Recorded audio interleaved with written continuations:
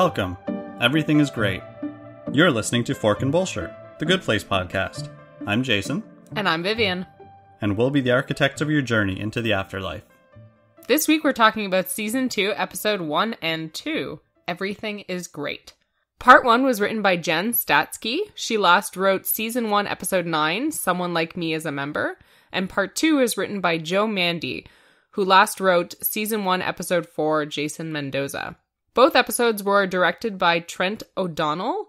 He last directed season 1, episode 7, The Eternal Shriek. And these episodes aired September 20th, 2017. So, we're on season 2. Yeah, it's exciting. We get to watch the show episode by episode rather than all at once after it aired. Yeah, it's going to be a little bit different this time. So, our podcast is going to be a little bit different as well. Obviously, we aren't going to have a spoiler zone because yeah, we know as much as you guys do. Exactly. So, we're going to be speculating right along with you and um and hopefully we can give you some fun insights as well. hmm So, initial thoughts? Um You look like you feel the same way I do.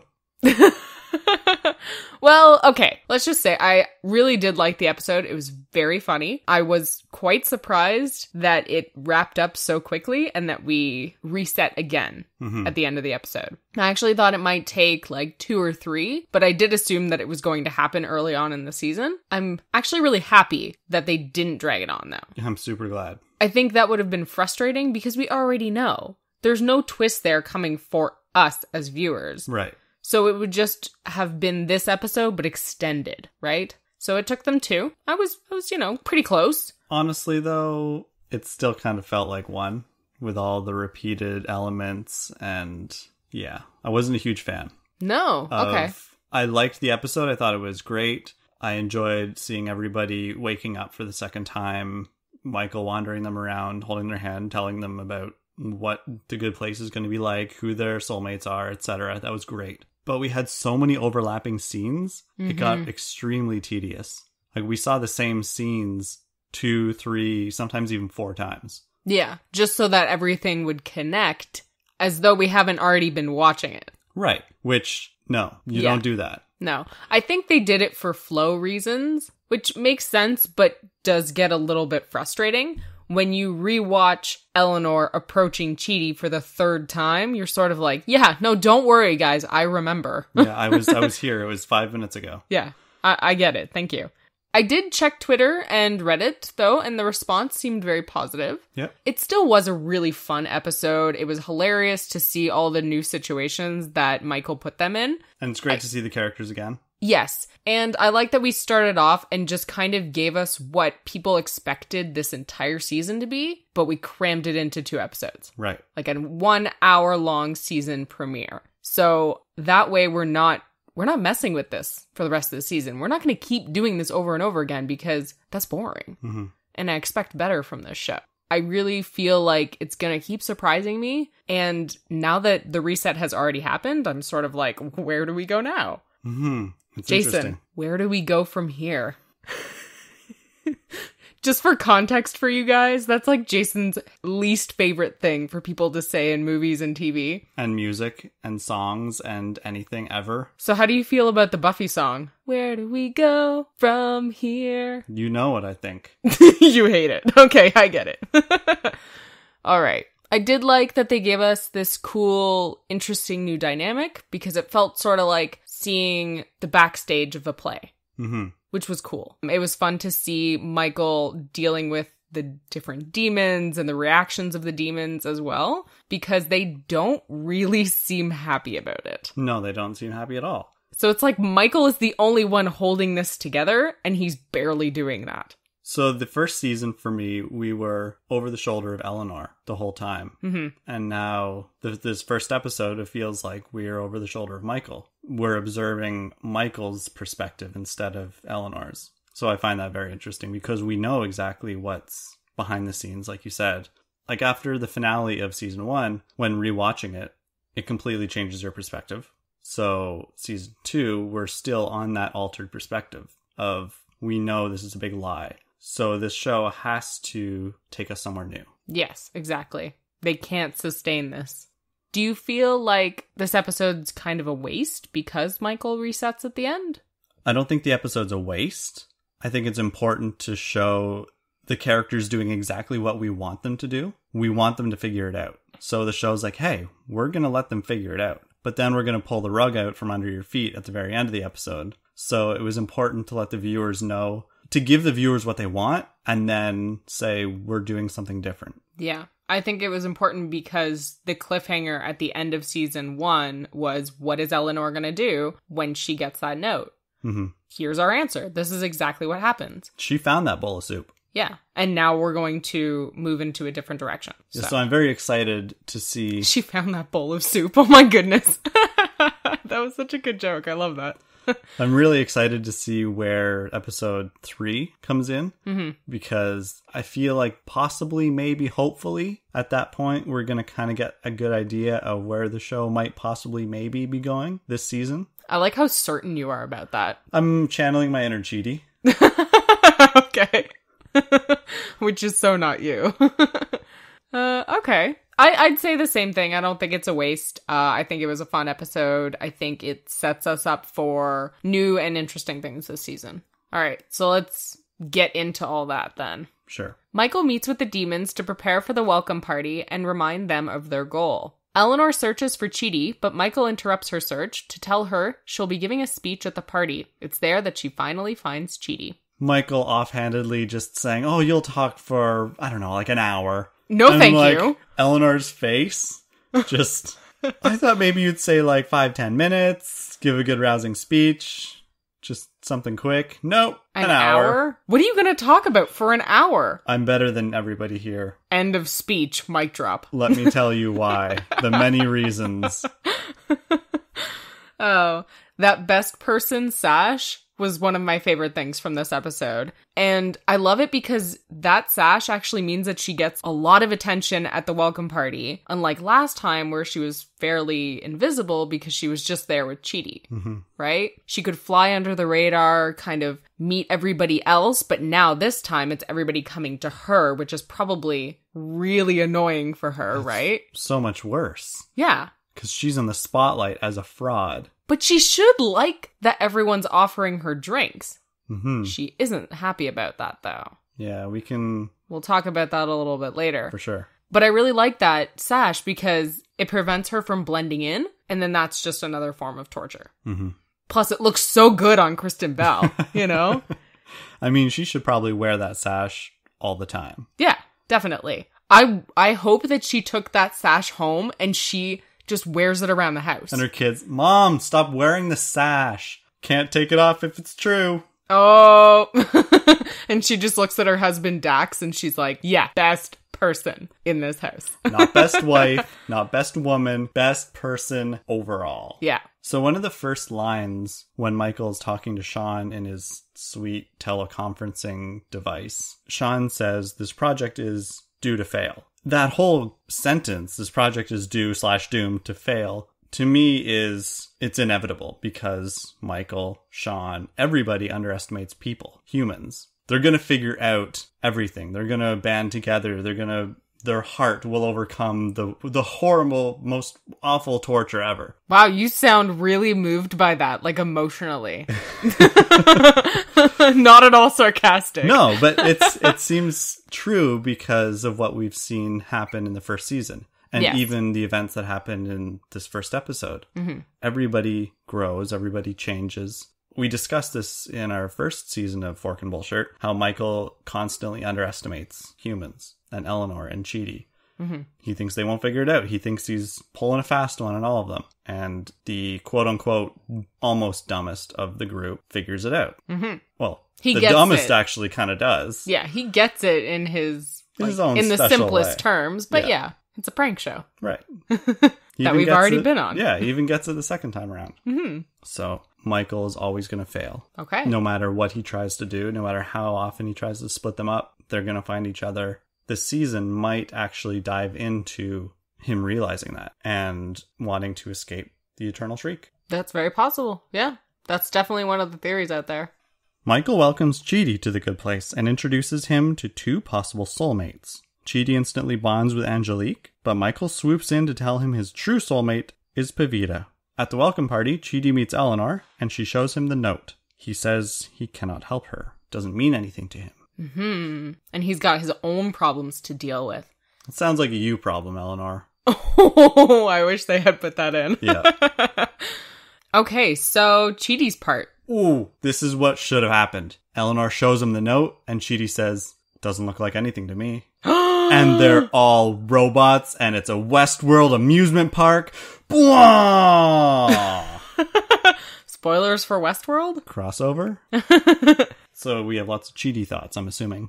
Yes, definitely. So Michael makes this whole joke about torturing philosophers. And I mean, it's cute at first glance, but after the third watch, it's not a great way to torture philosophers. I mean, I don't get it. I mean, yeah, I don't either. I, I guess the joke is that they love school, they're academics, And they're naked?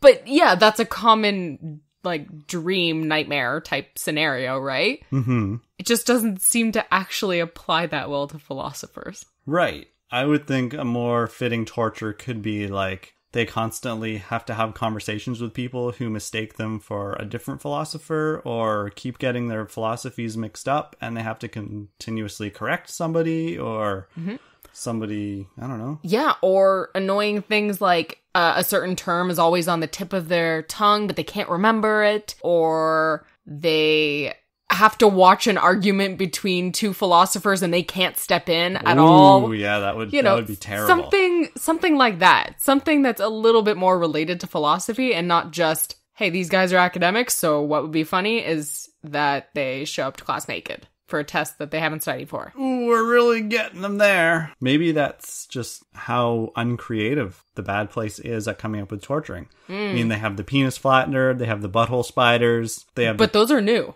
and they're enormous. the, yep, the the twisting department. I mean, the fire department. It's not very. Yeah. Michael's supposed to be the most creative, Mm-hmm. personalized torture. much more psychological versus physical Right, exactly. torment. And then I couldn't help but think, like, wouldn't Chidi feel conflicted that all of his heroes are being tortured, but supposedly he's way better than all of them? That's that's great. I love that because that makes Chidi so confused with everything that he's believed in and who these people are that he's been following and writing about his whole life. Yeah. Now he's just like, wait, what? But but he doesn't seem phased by it, and that's the part that bugs he me. He kind of just dismisses it. He's like, sort of oh, like, that sucks. Oh well i'm i'm i'm sad that i can't actually have conversations with all of my heroes but i guess i'm okay with it because i'm safe here in the good place which was one of our major critiques of last season of everyone just being okay with the idea that millions and millions of people are being tortured Mm-hmm. just because they didn't get a point score of over a million Right. So maybe Michael should have just said, "Oh yeah, they're just in another special philosophers den, ooh that would have been worse it would island been like of philosophers." Yeah, like they're in a different neighborhood and you can't ever visit that neighborhood. Ooh, That would be so frustrating if all of his heroes were all together and they were in the good place, but he just couldn't access them. Oh, that's so much worse. hmm And you could see like flyers being dropped about like gatherings or parties or cheese and wine socializing things that he just wasn't invited to. Ooh, they floated in from They the flo- other yeah, neighborhood. exactly. They just, and Michael's like, "Oh, I don't I'm sorry. I don't know how this got here. I don't know here." how these keep falling in here. yeah, cuz it's not like they're connected. You definitely can't go there. For sure. That would have been that would have been good. Michael does have a little laugh after he mentions how the philosophers are being tortured. Yeah, which is like a huge giveaway. like You're not really on. being very subtle there, Michael. Not even a little bit. Subtlety is what he's lacking in this entire episode, really. Yeah. Once they get outside, I couldn't help but notice that this show looks like Easter all the time. because there's all these pastel colors and there's flowers everywhere. It just looks like Easter all the time. And it kind of weirds me out a little bit. Perpetual Easter. Okay. yeah. Perpetually Easter. hmm It's perpetually spring. What if your favorite season is fall? I would hate this place. I'd be like, no, I want to wear bulky scarves and drink hot chocolate, and I want leaves to be changing. Thank you. I don't want tulips. Don't give me tulips. I'm sure the area around your personalized house would be whatever season you love. Or Oh. you could ask Michael to spruce it up a little bit. Be like, hey, on Wednesdays, can we have it be fall in the neighborhood downtown? Oh my gosh, wouldn't it be fun if you could go through all the seasons in one week? Yeah, That'd be cool. I would actually tolerate winter at that point. So I actually really like Michael's torture of Chidi, but I don't think it's that effective the way he did it. I think the concept was good, the execution was poor. So when Michael said that Chidi was matched with two people, I actually thought he was going to suggest polyamory, more than one partner, Okay. which I suppose could be an option for someone that's matched up with more than one soulmate. But in this case, he just gives two options, right? And one is very clearly better than the other, Super obvious. which I hate. I actually wish that both of them had been great because then it would cause him more conflict. So you're thinking the torture could be in the choice instead of Michael's thinking the torture is the result. Chidi being forced to live with Pavita Yes. for the rest of eternity and seeing his actual soulmate Angelique, well, actual quote unquote, Angelique b- with Dudeski Broski over there. Pedro? Yeah, Br- Pedro. Yeah, well, now that you say it like that, that sounds more torturous, I guess, because to be bonded forever with someone that you clearly have nothing in common with is torturous. Right. And to see that someone was just out of your reach, yeah, okay, that's great. I guess I just wish Pavita was a little bit better. She's so uh There's nothing. she's, She's, so she's gray. She's neutral. She's blah. she's not even gray, she's beige. forgettable. Yeah, it's just, I don't know. I guess I figured if you're going to torture him over this choice, then actually make the choice difficult. hmm The choice itself was not at all difficult, No. which we see when Chidi is able to make it so quickly, right? Yeah. Yeah, now that I'm thinking a little bit more about it, I do like it better. That the choice was so easy to make, but then that he would have to live with the fact that he couldn't be with the woman he feels he's destined to be with. Right. And that would create some great storylines for Angelique. Oh, for sure. Which is, of course, why Vicky is so jealous that she's not getting to play that role. hmm And Pavita even already starts at the games when Chidi wants to d- choose a wine, the red wine or the white wine, and she says, "Oh, in your heart of hearts, you know which one you want." Mm-hmm. Subtle. Not even a little bit. Ugh. Okay, yeah. They need more subtlety. Michael, this episode is nowhere near the subtle train. Like he completely missed the station. Oh yeah, he doesn't even know there is a station. He Ubered his way right to like Super Directville. Terrible. Past Subtle Town, entering Directville. oh shoot, I missed my stop. Oh well, this will do fine. This is this is good. There is a tiny little second of a clip where you get to see everybody's names. So we see the names of Chidi's potential soulmates and also Pedro.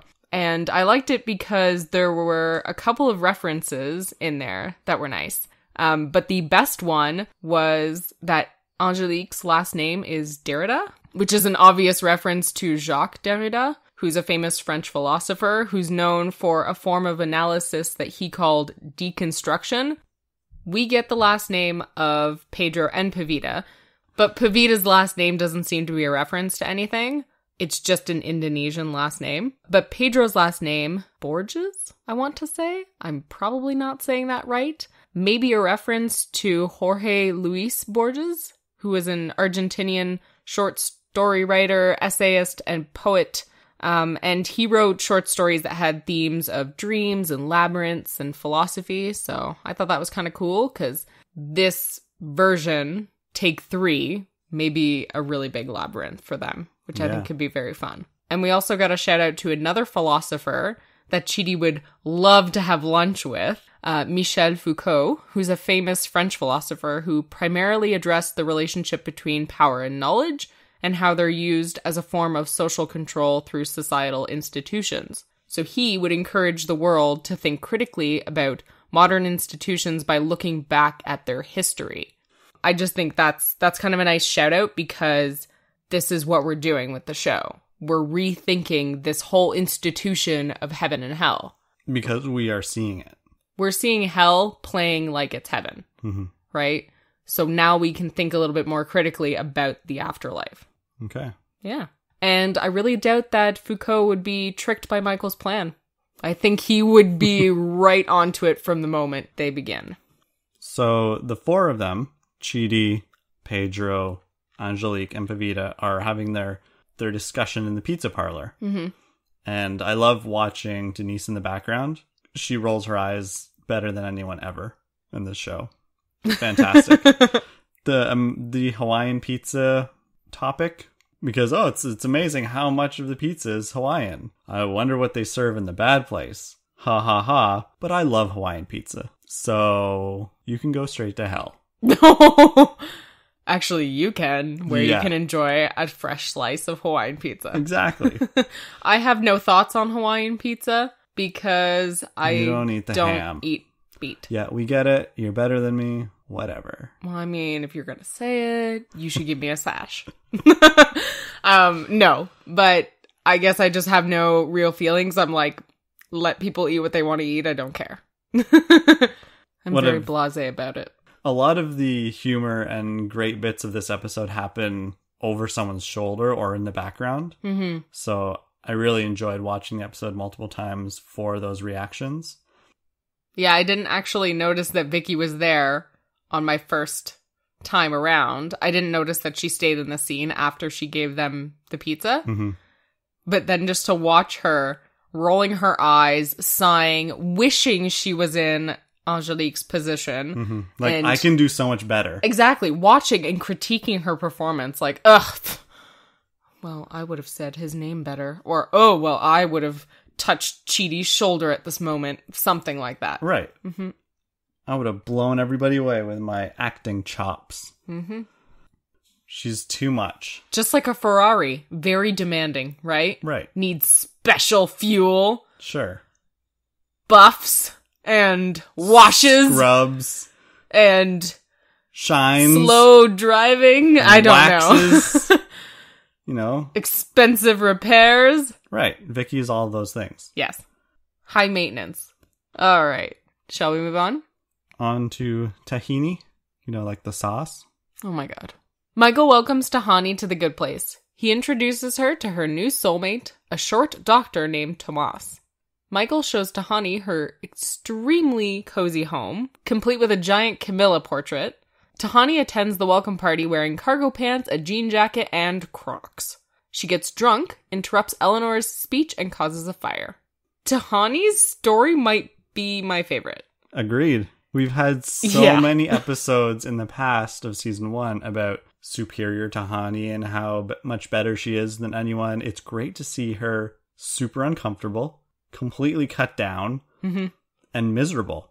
I agree. Like she was miserable last time, but it was so subtle, Mhm. right? But I really like that Eleanor and Tahani have switched places. Tahani really feels threatened by what she believes to be Eleanor's superiority, right? When she sees Eleanor wearing this best person sash and the little tiara on her, That really tips her over the edge. yeah, she feels like, no, no, no. This girl over here, there's no way she's better than me. I mean, look at her.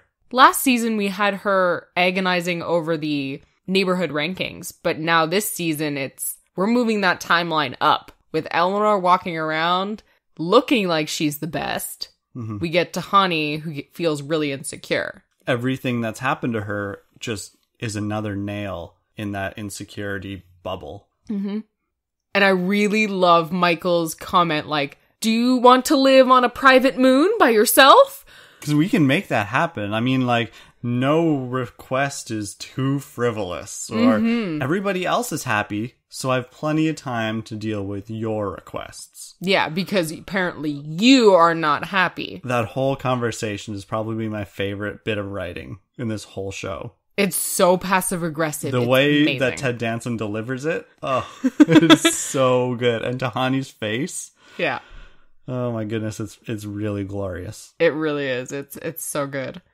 Michael's comment earlier in um in that sequence when he shows them their their new tiny home, which looks like what is it, a treehouse or something? It's just really small. It's cozy. It's very cute. The walls are hugging me. But he mentions that, oh, of course, humanitarians wouldn't want something so extravagant. But if everything in the good place is a construct, which we can pretty much see as he just like waves away the second floor and the stairs, then what does it matter? Because it's not like the environment is affected, and it's not as though others in the good place can't have those things as well. because there is no class here. right. So if I was Tahani, I guess I would be thinking like, well, can I have anything? Isn't that the point? If The- you can just wave away the second floor, can you not just wave away this whole little treehouse thing you've made me and give me a mansion just easily with the flick of your hand? But you know exactly why, Oh yeah, of course, because she's not supposed to want I know. anything, which is obviously part of the fun. hmm So, Oh, it is. But if you were Tahani, you might start to think like something's off a little bit. Yes, and I think I but think that she- is a big hint for her. that's, That's another thing because as soon as she starts thinking that, does she think, "Oh, maybe I'm just being too selfish, or maybe I shouldn't be even thinking this"? So it's kind of genius. Hmm It is. It is because he gets her to doubt herself right away. Yeah. when she is asking for a bigger home and he says, you know, the comment about the moon, she immediately is like, no, no, no, no, no, no, it's fine, it's fine, it's fine, I'm, I'm, fine. I'm okay. Yeah. She just backtracks like, oh, I'm being selfish now, Exactly. making herself feel worse.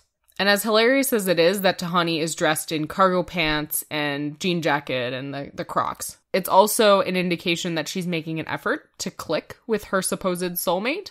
Because in her real life, Tahani was always trying to appeal to other people, right? She was trying to be who she thought they wanted her to be. And we see that she continues this behavior even now. So to me, it seems like she's way more insecure in this version, which I like. I like insecure Tahani right off the bat hmm we're not getting this confident model type that we got last season. Well, there was definitely a progression of her confidence throughout this episode. Mm-hmm. We started at the top when she's in Michael's office Yeah. and she says, "Oh, what a surprise!" I mean, I accept, of course. like, Which- obviously, I made it to the good place. Hello, I'm Tahani Al-Jamil.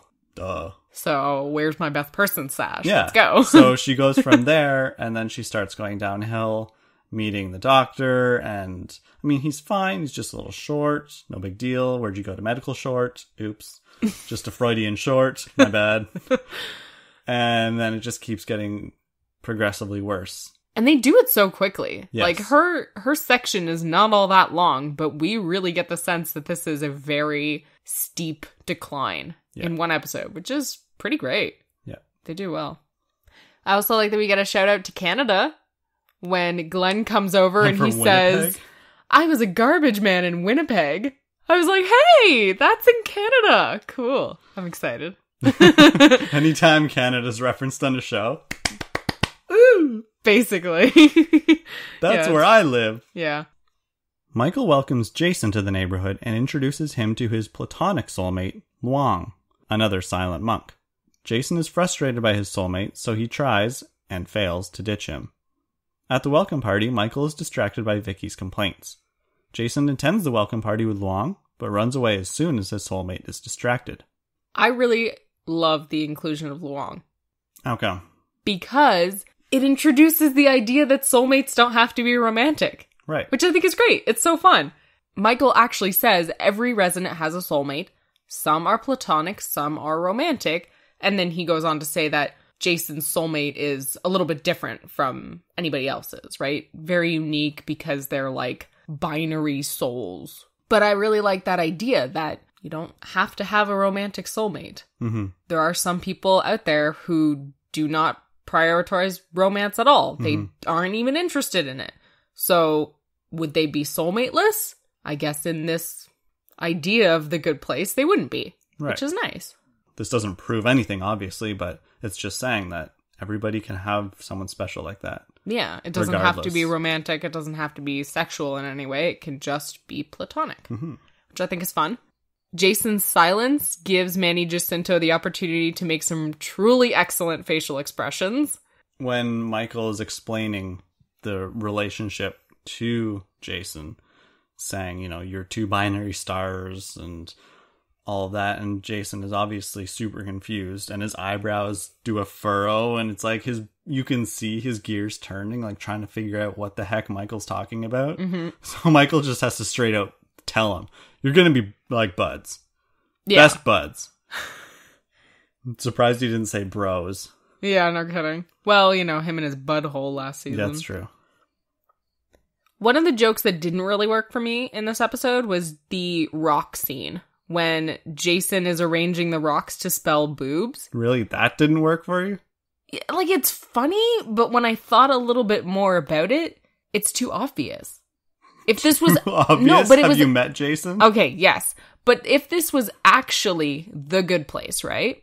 Which he believes that it is. Yep. If it was actually the good place and this was truly his soulmate, His soulmate would be suspicious. yes. Be like, why are you spelling out boobs? Exactly. That's very suspicious behavior. You're blowing your cover. Like it's funny, I see what you're saying. but it no, I totally get it. kind of breaks a little bit of my understanding of what Jason is supposed to be doing here. hmm Now, I'll just quickly mention something that I believe I caught in the background of the party scene.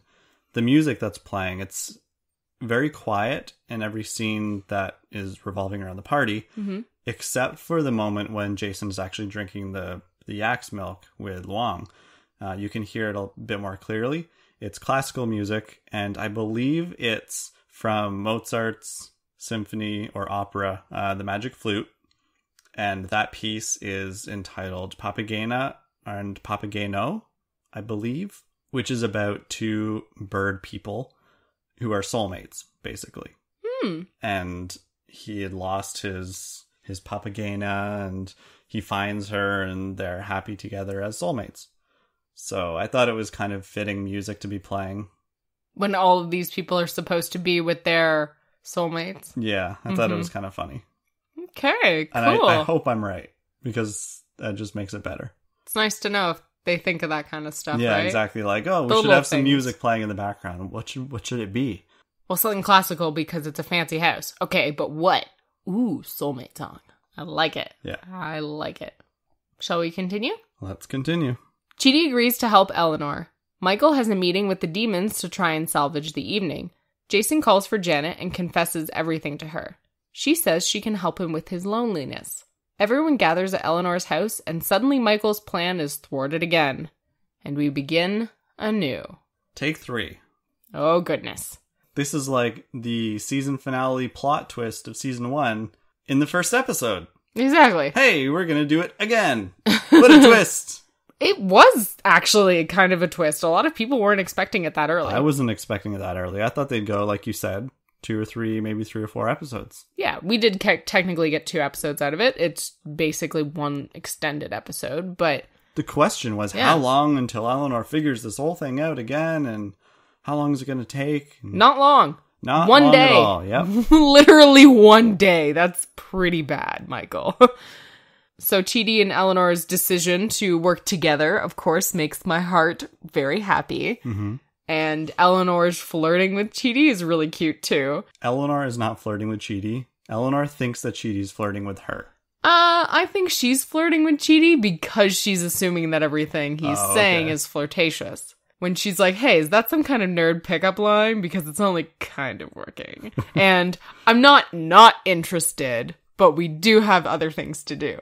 She's thinking thoughts, is all I'm saying. Yep. Just like she Okay. was last season. Okay. Except it took her a lot longer last season, whereas it seems like pretty much right away she's just into it. Which I like. Go for it.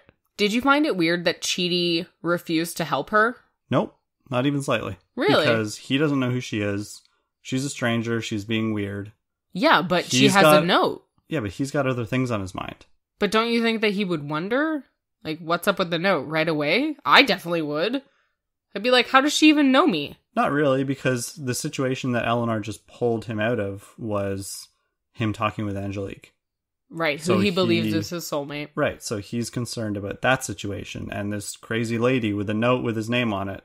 He doesn't want to deal with that right now. Okay. Because, like you said, it literally means nothing to me. Mm, So I'm going to go deal with my problems. You can figure your stuff out. right. And I think it's because part of it is because that she's already like five steps ahead of him. Right. She's realized that everyone's acting weird around her. He hasn't realized that yet. And also, she's talking about this potentially magical bracelet.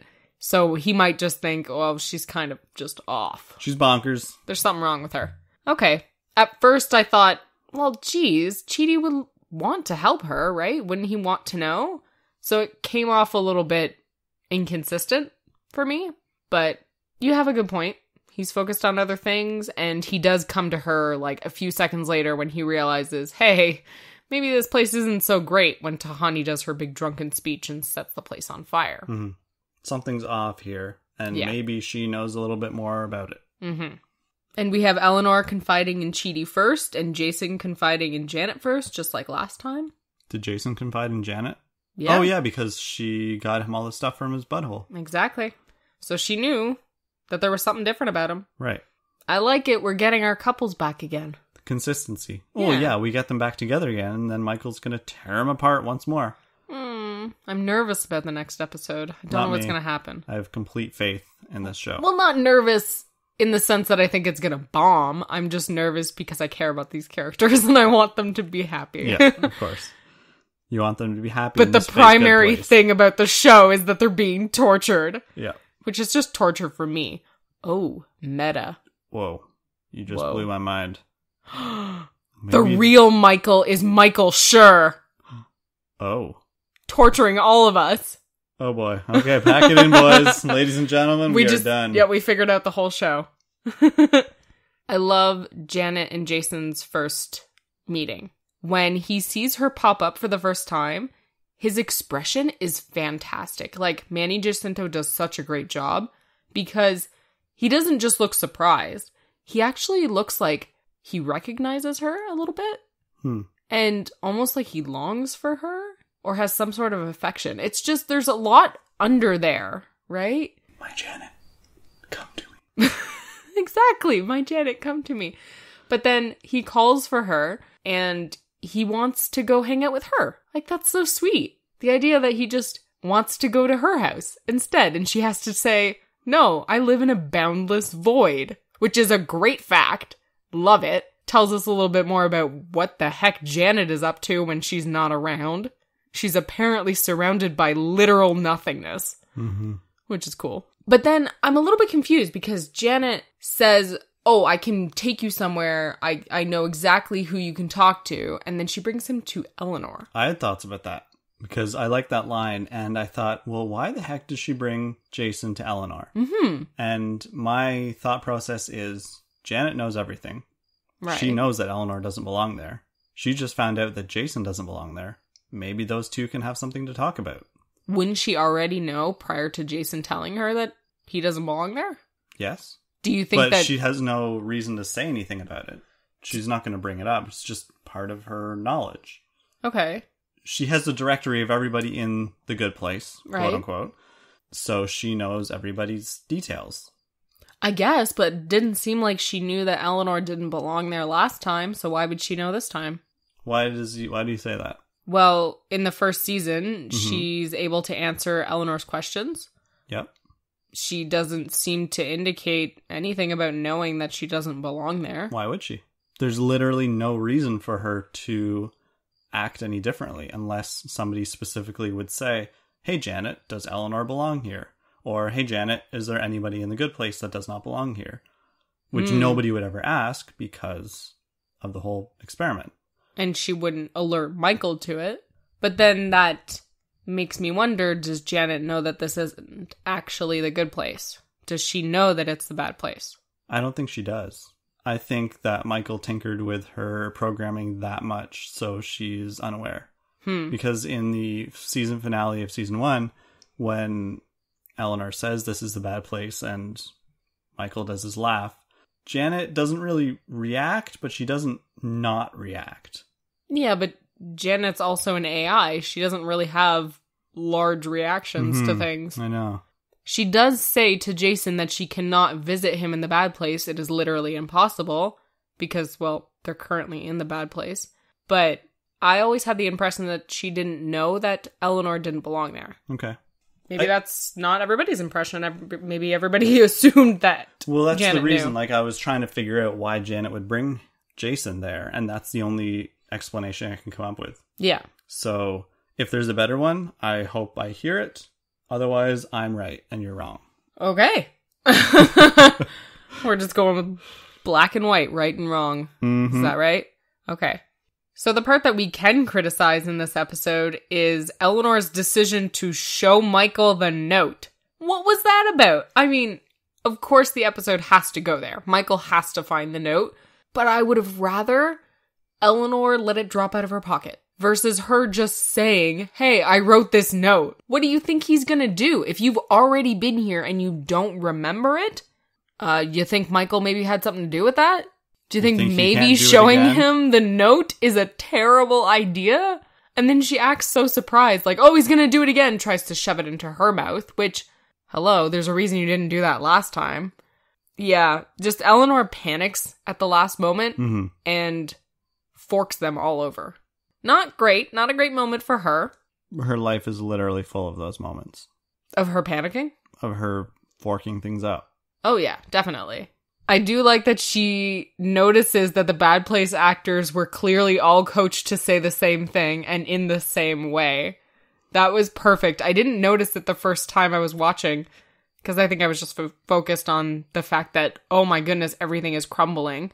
But when she notices that Tomas says the exact same thing as Pavita and in the exact same way, the, there you are, I've been worried sick about you. I love that. It's so good. And then Eleanor's soulmate comes in and she just that- calls him right out Yeah. on it. Oh, Like, let me guess. Oh, you've been worried sick about me? And he just immediately takes off a shirt. I'm heading to the gym, which is a great little gag. Um, Mm-hmm. I do wonder if he's going to be in the next episode. If he is, if he's in a new role, or if he stays her soulmate. Because I think Michael's going to not keep him around as her soulmate. He's I think that would be a bad move. Yeah. The climax of the episode, this whole everybody meeting in Eleanor's house and all shuffling in after one after another is I think one of my favorite finales of one of the Good Place episodes. Like it all Oh, okay. just comes together so fluidly, everybody meeting there and piling in and mistake after mistake and you can just see Michael getting exasperated. Like, "Oh, of course. Yep. Mhm. All right. Of course Janet knows Jason's real name and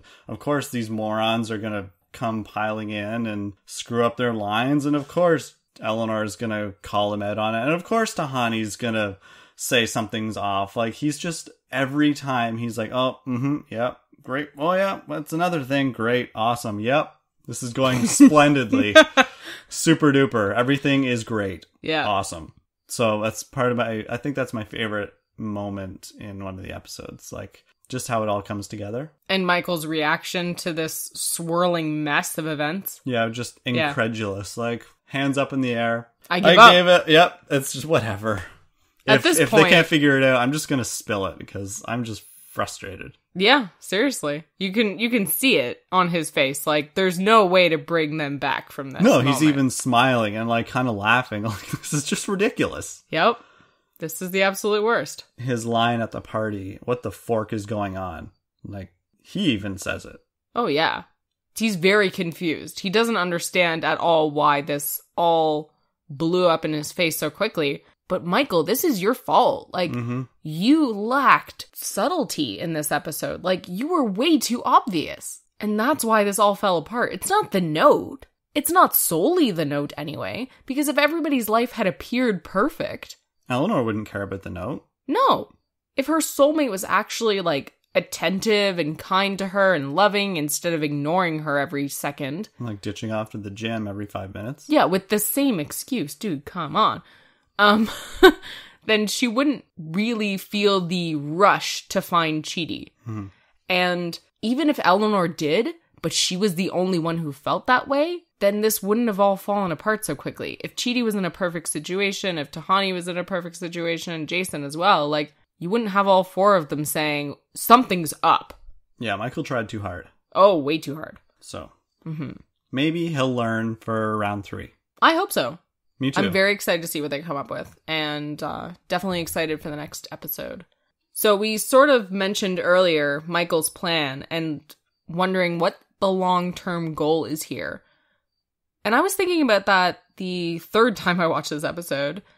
Because I was thinking, okay, that's a lot of demons working to torture four people. So eventually, what's he thinking? Is the ratio going to go down significantly and you're going to have maybe 20 demons in the entire neighborhood and have 300 humans and the other demons torturing them? It just seems like a lot of people doing work. Like a lot of demons, anyway, working to torture a very small amount of humans. Or eventually, will the neighborhood grow and you have eight humans and the same amount of demons? And, or, you know, like 50 humans all torturing each other and, you know, a, a bustling utopia of, of demons. Yeah. He says that there's a better way to torture people than just physical torment, but this plan seems sort of unsustainable Yeah. just because of the sheer amount of demons that you need to have. right. It's like he's beta testing an idea, hmm just like a proof of concept. Okay. It can work. We can tweak it after I prove that it works once you give me the go ahead. Yeah. But like, here's the basic idea they torture each other. hmm Yeah. So, Jason, what are you looking forward to seeing in the next episode? I'm looking forward to being surprised again. Yeah, me too. 21 minute episode, nice and quick, Mm-hmm. no overlapping scenes. It makes me a little sad that every episode isn't an hour long. I know. It'd be a great, yeah. like, hour long drama. Oh, for sure. Even if it was just an hour long comedy, just keep it as it is, but make it longer. Give me more. Give me more good place. yeah. I'm excited to see who ends up being the soulmates for everybody. I wonder if they're going to keep all of the same ones, but just tweak their relationships. Maybe Michael will cave and give Denise back her old job. Or give Vicky back her old job. Yeah, I maybe he's going to train Eleanor's soulmate on different excuses or make him not give excuses but just be very unhelpful to Eleanor. Uh maybe he's going to keep Tahani's soulmate the same guy. It's still going to be Tomas, but Tomas dresses really well this time and they have a big fancy house so she can overlook the fact that he's short. Make him Kind of over- overlook it. Well, yeah. obviously she can overlook him. Oh wow. She's taller. Oh no no no no no no no. so I'm I'm very interested to see that and just to figure out sort of where they're heading this season because it feels like we got season one and then almost as though we had all of season two in one episode hmm or one two part episode and now we're gonna have season three. It's kind of how it feels. So I'm excited to see where it goes for Yeah. sure. So, do you want to talk a little bit about how the characters have changed this episode? Absolutely. We got a request from Joss at Joss Ruckus on Twitter who said that she wanted to hear about the differences that we see in the characters. So clearly other people are noticing it too. Like there's there's something different about our core four, Yes, right? there definitely is. So what I'm wondering is are the characters fundamentally changed by their experience in version 1 or is it just the circumstances of version 2 that created this change in them?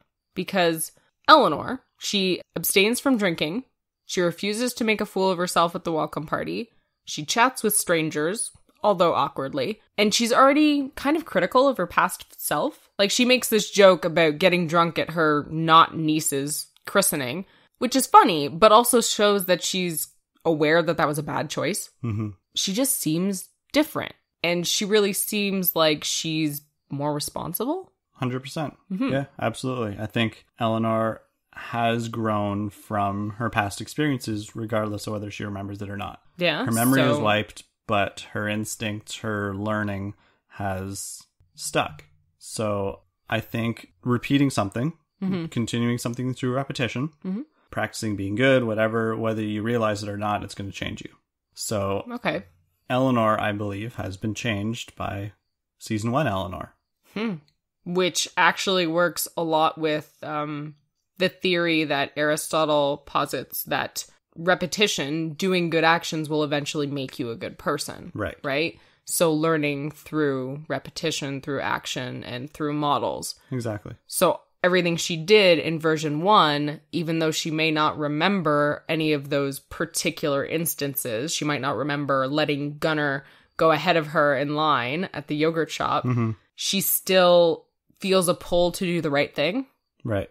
Okay. Cool. So the examples are obvious. Like Eleanor's not drinking. She remembers some names. She remembers Jessica's name when she's talking to her. She even uses it. Oh, I didn't Uh, notice that. Because they were doing the joke of her not remembering Janet's name. Right at the beginning. And she said to herself, like, why don't I ever listen to people when they talk about themselves? So that even though she ends that with, no, I'm right, people are dumb. But she even, just the fact that she asked herself that she's regretting it a little bit because like she needs Janet. Right. So, like, why don't I do this? She's being reflective. She is. Yeah. And it's out of character from what we've seen in the flashbacks from season one. Oh, So, definitely. It it shows growth for sure. She was not the type to self reflect on Earth. Mhm. So this is already a big change. And what about Tahani? Do you find that she's changed? I feel like she's changed, but more so by the circumstances of version two.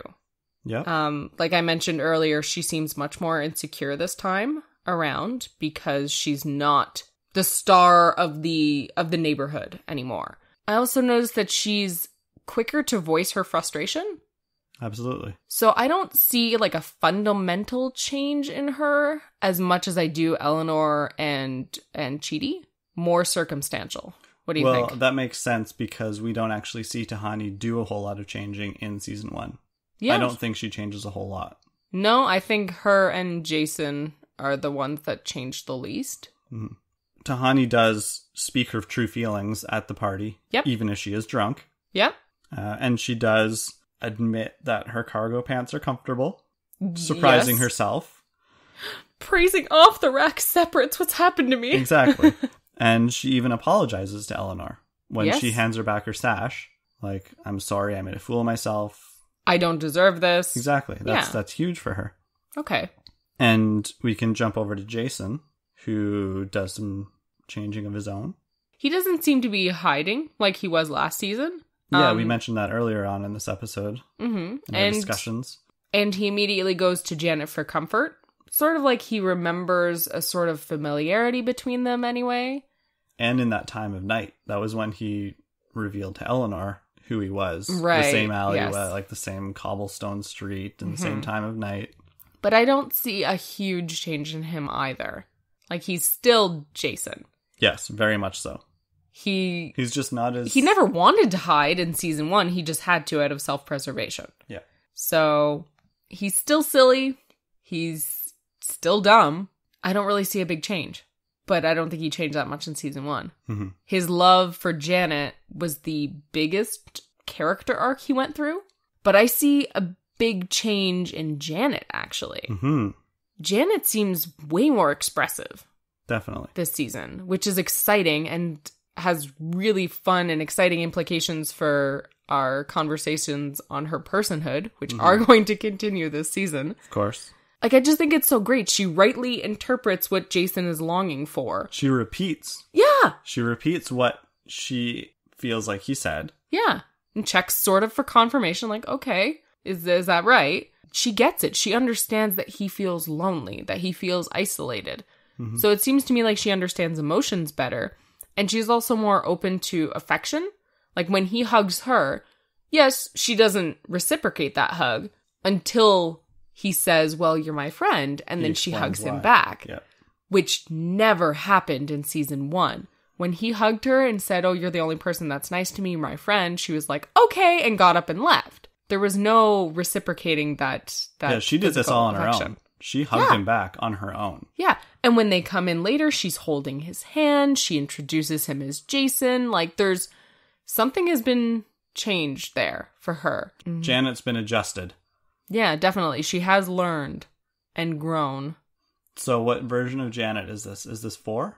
Uh we had the first Janet before she got murdered Mm-hmm. in season 1, and then we had the next one. Um so this is Janet 3. Okay, Janet version three. Janet version 3 and then by the end of the episode we see Janet version 4 which I think looks the most like a flight attendant because she's got the hair pulled back in that bun so I kind of hope that they don't keep this version around that long only because You don't I- like her outfit? I don't like her outfit and I don't like her hair. I don't think it's very flattering on D'Arcy Carden and she's such a beautiful woman that I'm just like, "Oh man, I want you to be in a lovely outfit where you feel pretty." Okay. Maybe she does feel pretty. I don't know. I didn't talk to her. I didn't ask. But personally, I'm not a fan of the updo. So lastly, and perhaps the most important for you, Chidi. people who changed, Chidi. yes. So, I feel like Chidi has been changed fundamentally. I think he changed only a tiny bit. Okay. I see him as much more confident And even though he tells Michael, like, yes, I'm uncomfortable with making choices, he makes it really quickly. Like, yes, it's an easy choice to make, but He still makes it. last season he had a choice between Tahani Eleanor and, well, fake Eleanor and real Eleanor, right? And Tahani, who he didn't really have that big of a connection with, and who wasn't supposed to be his soulmate in any way, or wasn't mistaken to be his soulmate, was still an option for him, right? So I just see him as being more confident in his decisions this season. And then when he's proved wrong by Michael and told no, Pavita is supposed to be your soulmate, and that's that's the algorithm. Too bad they got it right. He ends up telling Angelique that he actually feels like they're meant to be together, which to me seems very confident. Mhm. Like, wait, you're gonna say to this woman straight to her face, knowing that she's supposed to be someone else's soulmate, that you think she belongs with you? right. Woo, okay. That is big. All right, Chidi. So I think that's a pretty big move. And then he believes Eleanor pretty quickly. I think the circumstances are kind of helping in Yeah, that regard. sure.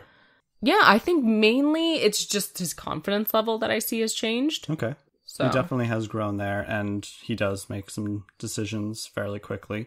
hmm he doesn't really get upset when Eleanor's calling him a nerd all the time, Mhm. which she says several times in this episode. Mm-hmm. He doesn't get insecure about it because I just feel like he's not as insecure. And when Michael says that he has to make this decision, he's like, okay, I don't like it. I know it's gonna suck, but I'll do it. I mean, it's still Chidi. It's still anxiety ridden Chidi. We Mhm. still see him getting flustered and almost freaking out a little bit, but But handling himself yeah, a little bit a better. lot better than season one. Yeah, for sure. So, yeah, so that's our breakdown of changes Changes in the characters. going through in the good place with changes. It sounds like we're talking about puberty. Uh, Changes, body hair. places that it wasn't there. Okay. Since we recently talked about Janet, I'm going to bring up a question that one of our listeners had. Lexa sent us a message on Facebook to ask, How do you feel about Janet's ride or die protocol, and do you think it will affect things going forward? I hope that it wasn't just a throwaway line Me too. because Ride or Die, Fast and Furious, Cars, you know, it's it's like it's totally up Jason's alley for her to say something like that for Jason. Oh, right. Yeah, it is. So I hope it wasn't just a throwaway and that it's actually going to have some implications Mm-hmm. because that's coded deep within Janet. And it probably, to be something like that, like a ride or die protocol, I believe wouldn't be able to be erased by Michael. That's something so. like hard coded into her system. Mm-hmm. Read only, can't write over that. Yeah. And I don't think that this ride or die protocol says, I love Jason, he is my husband, that kind of thing, but more like help Jason, make Jason happy. So, sort of making him a priority over others. hmm And she says in that particular episode in season one, like, I can't go unless my husband instructs me to. I've initiated a ride or die protocol. Um, so it seems like it's not really relationship wise, it's more like she has a sense of duty to him. Right. Yeah. And I think we're already seeing the effects of it in this episode. She's looking after him already. Yeah, she's just different with him. And I'm excited to see if she remains different with other people or if it's kind of a Jason only thing. hmm Yeah. So thank you for your question, Lexa. Yeah, that was a pretty baller question. hmm I didn't even think about it. Yeah, Having- I I kind of forgot about it. Like I knew okay, Jason has to be a little bit different in this season and Janet has to be a little bit different. Kind of forgot about that protocol. Yeah. Do you want to get to the other questions? Mad Max Mom asks, uh, "Did we ever find out how Tahani died? Not episode specific, but still a question." Nope. no, haven't- we haven't yeah. found. We know that she died. We don't know obviously, we don't know how. I'm assuming it was Kamilah related. Oh goodness, maybe. or Kamilah made a profit on her death, made an art installation after she was, I don't know, hit by a uh, air conditioning delivery truck that ended up delivering the air conditioner that crushed Chidi or something. You just want them to be together, don't you? Still. no. Oh, okay. I just I just think it would be great to have Kamilah profit over Tahani's death. oh. Well, yeah. I guess. It would be fitting for Tahani just another thing that Kamilah did better. hmm Well, she does say in season one, episode 11, she says to Eleanor, Well, it's not as though you could sacrifice your life to save others or change the consciousness of a nation. Both of which I did, by the way. Such fun. But knowing Tahani, it's not like she would have thrown herself in front of a bullet for somebody else or something equally dramatic. I imagine that she truly believes that she saved others by sacrificing her life, but I don't think it's going to be something dramatic. It's going to be, she Yeah. blew it way out of proportion. I really wonder if we're going to see it this season. I hope that we are. I wonder if we're going to see any flashbacks. We didn't get any in this episode because, of course, we already Hey, know no, no, no. what they're like. We flash back to the episode that we were watching oh, yes. several times. That's true. But we didn't get any lost style No, flashbacks. we did not. And I hope we'll keep those up for this season. It would be fun to see. And a listener, Max, didn't have a question or a theory just yet, but he said he had lots and lots of glee about this episode. Oh, Glee. Glee. Did you know that Glee literally means Glee? Max, did you also have any existential ennui about this episode? Cause I did. Anyway, we'll get to our theories. So our first theory comes from Garrett on Twitter at GarrettCRW. He said, My theory is I think we're getting at least one more redo of The Good Place because Michael has to do something super rude to Vicky, aka real Eleanor, aka Denise. So, like, he's got to do something just because he really doesn't like her.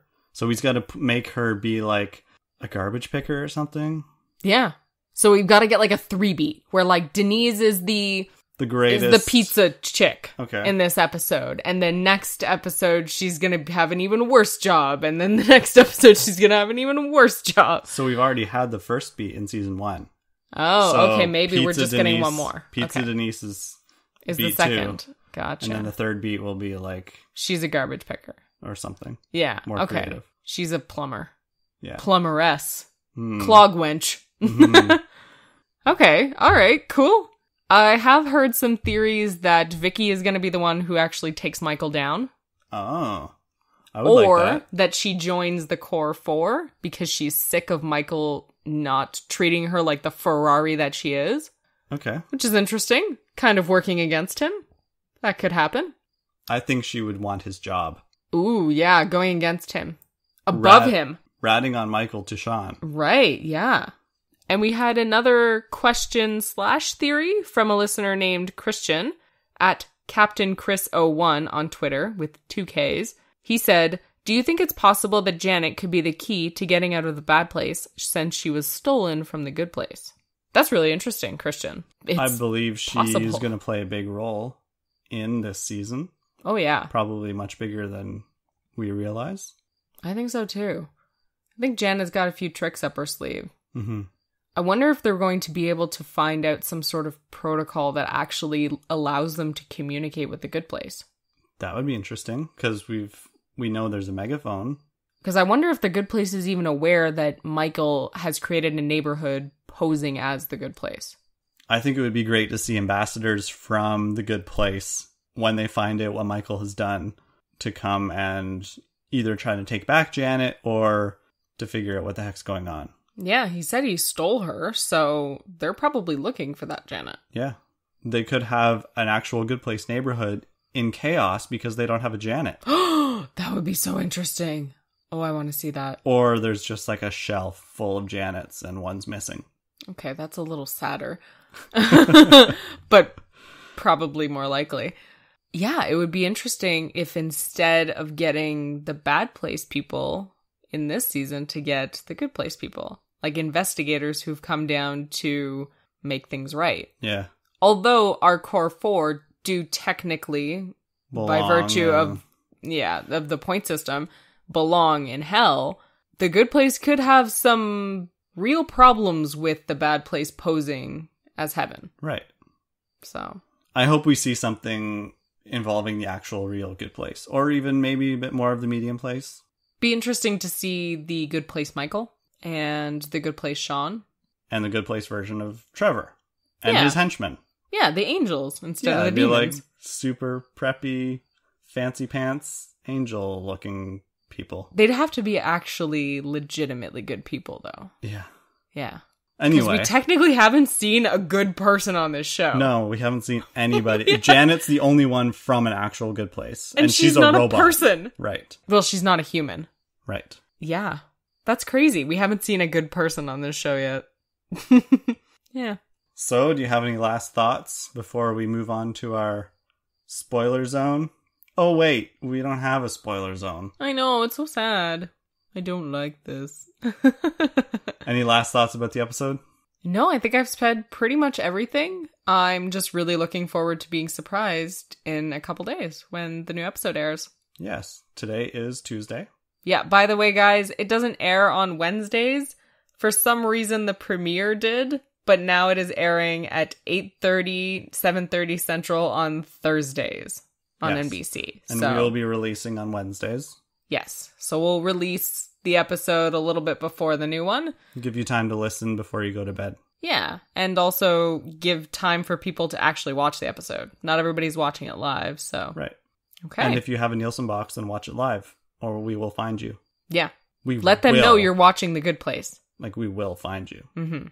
We will. Okay.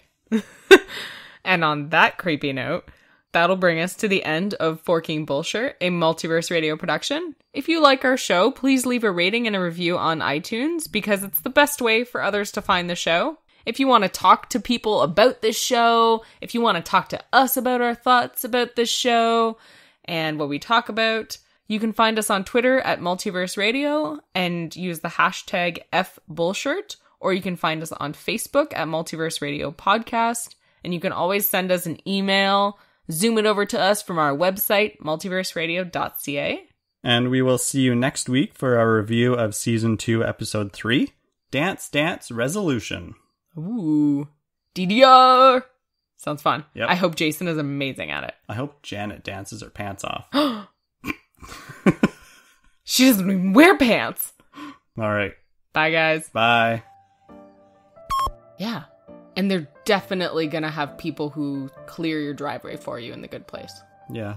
I don't think Maybe there's not this good place. I don't think there's any cars. Oh. well, you still gotta get outside. Maybe there's not that much snow. Right. Just not that much Or snow. you can just walk right through it with no effort. Oh, man. Hmm. That'd be nice. Or you walk right on top of it, no big. Ooh, right. Yeah. You're like Jesus, but snow. I was thinking more like Legolas, like the elves. Oh. Well, you know, walking on water, but Whatever, both fictional water. characters. Woo, harsh. That's a Bible burn. Biblical burn! All he ever knew in his old life was twisted. And now we got to do talking, so it's hard. yep. That's That's- my That's good. redneck sounding voice. Yeah, I like Yeah. it.